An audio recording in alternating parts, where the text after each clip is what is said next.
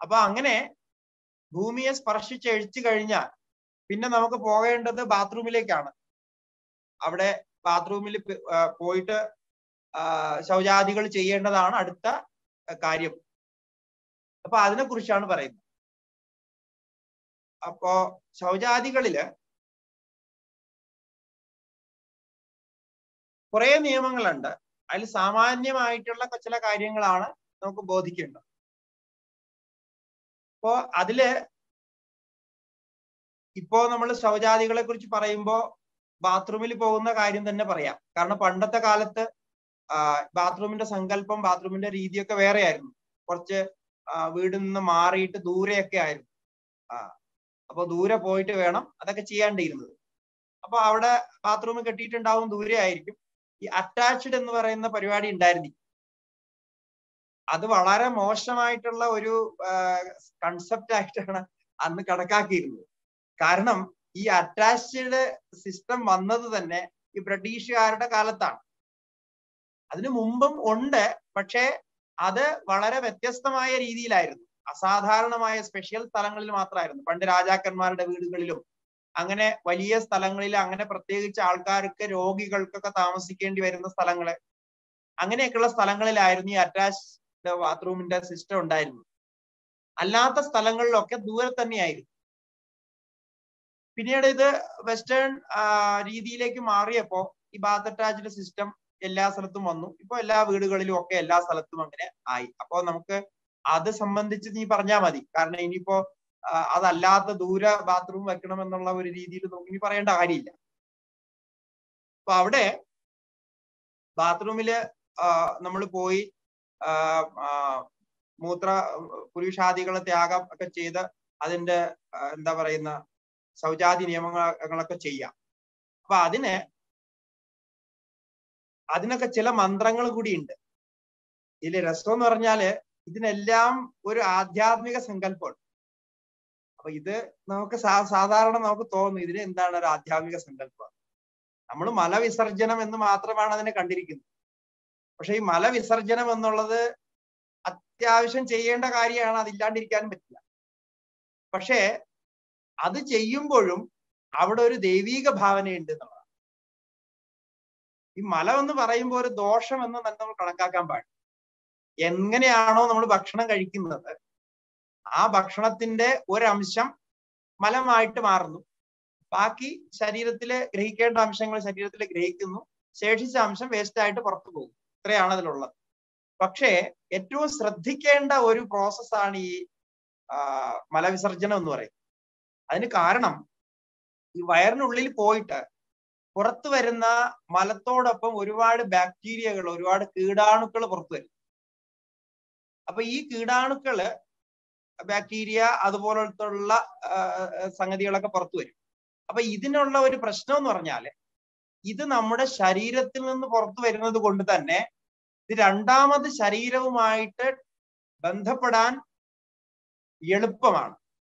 കാരണം അത് തമ്മിൽ ഒരു ട്യൂണിംഗ് ഉണ്ട് ആദ്യമേ.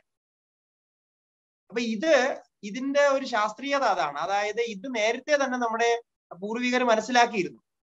അപ്പൊ അതുകൊണ്ട് ഈ ശൗചാദി നിയമങ്ങൾ ചെയ്താൽ ഉടനെ കുളിച്ചിരിക്കണമെന്ന് അവർ പറഞ്ഞു. കാരണം കുളിക്കുമ്പോ ഇത് പുറത്തു പോകും. അപ്പോ വെളിയിൽ ഈ ബാക്ടീരിയകൾ അനേകം വർഗത്തിലാണ് ലക്ഷോപ ലക്ഷം വർഗം ബാക്ടീരിയകളുണ്ട് അതിന്റെ വെറൈറ്റീസ് പലതാണ്. അതിൽ നമ്മുടെ ശരീരത്തിലുള്ള ബാക്ടീരിയകൾ അത് മലത്തിലൂടെ പുറത്തു വന്ന് വരുമ്പോഴേക്കും ഈ ബാക്ടീരിയ നമ്മുടെ ശരീരത്തിന്റെ മറ്റ് അവയവങ്ങളുമായിട്ട് ബന്ധപ്പെടുന്നവയാണ്. ഉദാഹരണത്തിന് വായ തുറന്നിരുന്നാൽ ഈ മലവിസർജന സമയത്ത് പുറത്തു വരുന്ന ബാക്ടീരിയകൾ വായിൽ പ്രവേശിക്കാൻ സാധ്യതയുണ്ട്. മൂക്കിൽ പ്രവേശിക്കാൻ സാധ്യതയുണ്ട്. അതുപോലെ കണ്ണിൽ പ്രവേശിക്കാൻ സാധ്യതയുണ്ട്. കാരണം ഓൾറെഡി അത് നമ്മുടെ ശരീരത്തിൽ നിന്ന് പുറത്തു വരുന്നതാണെന്നുള്ളത് കൊണ്ട്. അപ്പൊ അതുകൊണ്ട് കാൽ കാലിന്റെ പടം കാലിൽ അതുപോലെ കയ്യ് ഇതൊക്കെ നമ്മൾ വൃത്തിയാക്കാറുണ്ട്. അപ്പൊ ഇത് എല്ലാം ചേർത്തിട്ടാണ് കുളിക്കണം എന്ന് പറയുന്നത്. അതുപോലെ ഈ ഇതിനൊരു മന്ത്രമുണ്ട്. മന്ത്രം പറയാം. അത് അറിഞ്ഞിരിക്കുക. ഇങ്ങനൊരു മന്ത്രം ഉണ്ടെന്നാണ്. അതായത് ഈ ശൗചാചാരങ്ങൾക്ക് പോകുന്നതിന് മുമ്പ് അവിടെ എല്ലാ സ്ഥലത്തും എല്ലാം വ്യാപ്തമാണല്ലോ. ചൈതന്യം എല്ലാ സ്ഥലത്തും വ്യാപ്തമാണ്. അപ്പോ ഈശ്വരൻ അതിനും എല്ലാ സ്ഥലത്തും വ്യാപ്തമാണ്. ഇപ്പൊ ബാത്റൂമിൽ ഈശ്വരൻ ഇല്ല എന്ന് നമുക്ക് പറയാൻ പറ്റില്ല. അപ്പോ എങ്ങനെയാണോ നമ്മുടെ പൂജാമുറിയിൽ ഈശ്വരൻ ഇരിക്കുന്നത് ഈശ്വരന്റെ ദൃഷ്ടിയിൽ ബാത്റൂമും അതുപോലെ തന്നെ ആയിരിക്കണം. കാരണം സർവവ്യാപക സർവവ്യാപകനായിട്ടുള്ള ഈശ്വരനാണ്. സർവത്ര വ്യാപ്തമായിരിക്കുന്നു എന്നുള്ളത് കൊണ്ട് അവിടെ ഉണ്ടെന്നുള്ളതാണ്. അപ്പൊ അങ്ങനെ ഒരു ഭാവന ചെയ്തുകൊണ്ട് ഗച്ഛന്തു ഋഷയോ ദേവ പിശാച ഏച്ച ഗ്രാഹ്യകാഹ പിതൃഭൂതഗണാ സർവേ കരിഷ്യേ മലമോചനം എന്നാണ് ആ മന്ത്രം. അതൊരു ശ്ലോകമാണത് അതായത് ഞാൻ മലവിസർജനം ചെയ്യാൻ പോവുകയാണ്. അപ്പൊ അതുകൊണ്ട് ഈ മലവിസർജന സംബന്ധമായിട്ട് അശുദ്ധി ഉണ്ടാകുന്നത് നിങ്ങൾ എല്ലാവരും ക്ഷമിക്കുക. കാരണം ഇത് വേറെ വഴിയൊന്നുമില്ലല്ലോ അത് ചെയ്തേ പറ്റുള്ളൂ. അപ്പൊ അതുകൊണ്ട് ഈ ഈ ഭാഗത്ത് ഇപ്പൊ ഞാൻ മലവിസർജനം ചെയ്യുന്ന ഈ ഏരിയയിൽ ഉപസ്ഥിതരായിട്ടുള്ള ദൈവീക ശക്തികളും അതുപോലെ പിശാചുക്കളും ബാക്കി ഗൃഹ്യകളും ഭൂതഗണങ്ങളും എന്തൊക്കെ ഉണ്ടോ അവിടെയൊക്കെ. കാരണം ഈ ഭൂത പിശാചികൾ എല്ലാ സ്ഥലത്തും ഉണ്ടല്ലോ. അപ്പൊ അവിടെയുള്ള എല്ലാവരോടും പറയുകയാണ് നിങ്ങൾ ക്ഷമിക്കുക ഞാൻ മലവിസർജനം ചെയ്യാൻ പോവുകയാണ് നേരത്തെ ഭൂമിയോട് എങ്ങനെയാണോ പ്രാർത്ഥിച്ചത് അതുപോലെ തന്നെയാണ്. അപ്പൊ അതുകൊണ്ട് ഇതിനാൽ വരുന്ന അശുദ്ധി നിങ്ങൾ ക്ഷമിക്കണം. കാരണം ദേവന്മാർക്ക് അശുദ്ധി എന്ന് പറയുന്നത് ദോഷമാണല്ലോ അപ്പൊ ആ ഒരു ഭാവനയിൽ അങ്ങനെ ഭാവന ചെയ്തുകൊണ്ടിരിക്കുക അപ്പൊ മലവിസർജനം എന്ന് പറയുന്നത് ഒരു കാര്യമാണ്. അത് ഒരു ആധ്യാത്മികമായിട്ടുള്ള കാര്യമാണ്. കാരണം അതിലെ ദോഷം എന്ന് പറയാനൊന്നും ഇല്ലല്ലോ. എന്നിട്ട് ഈ മലവിസർജനം ചെയ്യണ സമയത്ത് വാ തുറന്നിരിക്കാൻ പാടില്ല. വാ അടച്ചിരിക്കണം. അതുപോലെ തലയിൽ ഒരു മുണ്ടിടണം. പണ്ട് കാലത്ത് നാട്ടിലൊക്കെ തറവാട്ടിലൊക്കെ താമസിച്ചിട്ടുള്ളവർ കണ്ടിട്ടുണ്ടാവും. ഈ ശൗചാചാരങ്ങൾക്ക് പോകുന്നവർ തലയിൽ ഒരു മുണ്ടിട്ടാ പോവുക. അപ്പൊ തലയിൽ മുണ്ടിടാനുള്ള കാരണം മൂക്ക് വായ കാത്. കാരണം കണ്ണ് മൂടാൻ പറ്റില്ല. കണ്ണ് മൂടുന്നവരുണ്ട്. ഇത്രയും മൂടിയിരിക്കണം. അതിന് കാരണം ഞാൻ നേരത്തെ പറഞ്ഞ കാരണമാണ്. ഈ മല മലവിസർജനം ചെയ്യുമ്പോൾ ഈ ബാക്ടീരിയ വളരെ ഫോഴ്സോട് കൂടിയാണ് വെളിയിൽ വരിക. അത് കാറ്റിൽ പരന്നത് കൊണ്ടാണല്ലോ നമുക്ക് ബാഡ് സ്മെല്ല് ഫീൽ ചെയ്യുന്നത്. ബാഡ് സ്മെല്ല് ബാക്ടീരിയ ആണെന്ന് നമുക്ക് എല്ലാവർക്കും അറിയാം. പഠിച്ചവർക്ക് എല്ലാവർക്കും അറിയാം. അപ്പൊ ഈ ബാഡ് സ്മെല്ല് നമ്മൾ ശ്വസിക്കാൻ പാടില്ല. കാരണം ശ്വസിച്ചു കഴിഞ്ഞാൽ അത് ശരീരത്തിൽ പ്രവേശിക്കും.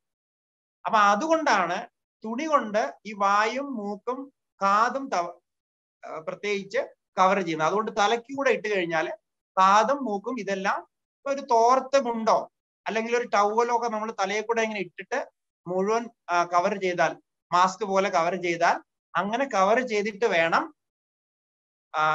ഈ മലവിസർജനത്തിന് ഇരിക്കാനായിട്ട്.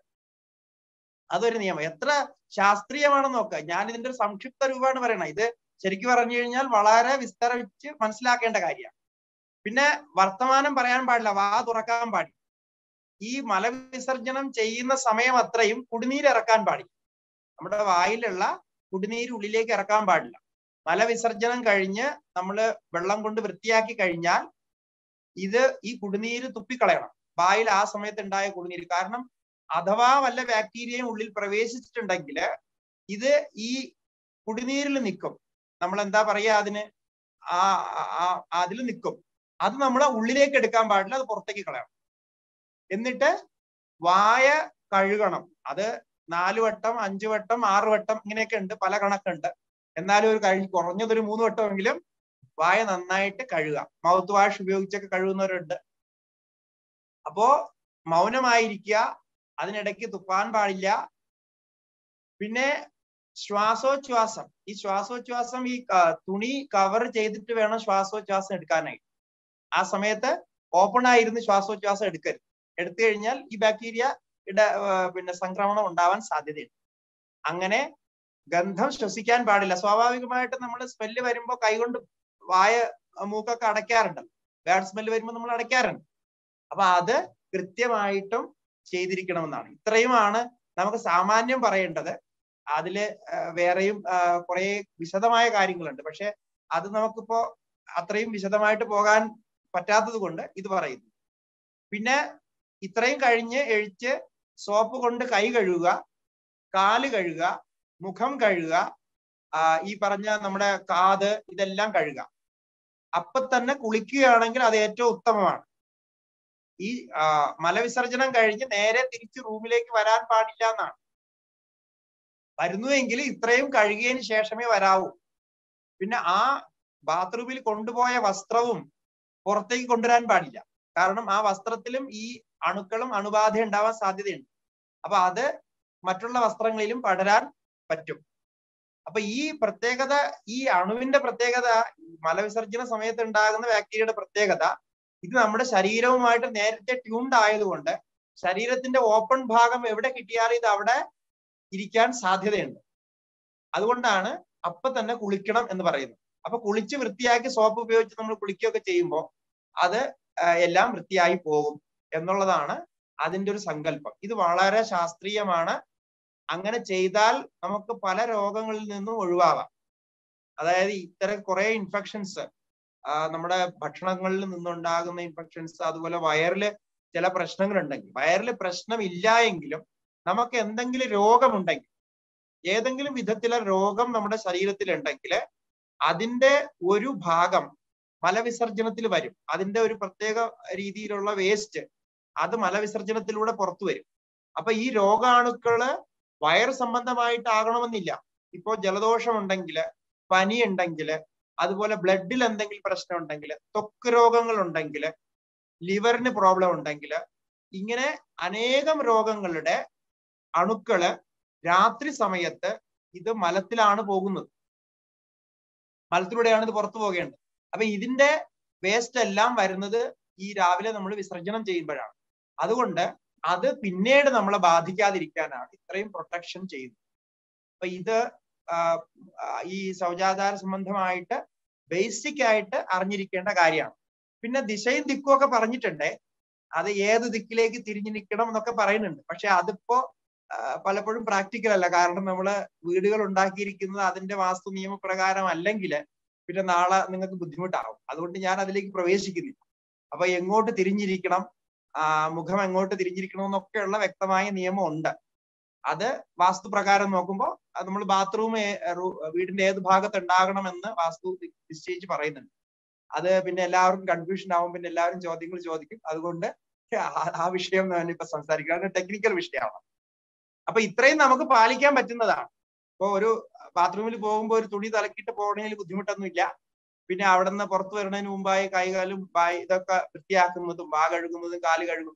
എന്തായാലും ബാത്റൂമിന്റെ ഉള്ളിൽ എത്ര വൃത്തിയുള്ള ബാത്റൂം ആയാലും ബാത്റൂമിന്റെ ഉള്ളിൽ പോയിട്ട് പുറത്തു വരുമ്പോ കാലും മുഖവും വായും കണ്ണും കൈയും ഇതൊക്കെ കഴുകിയിരിക്കണം.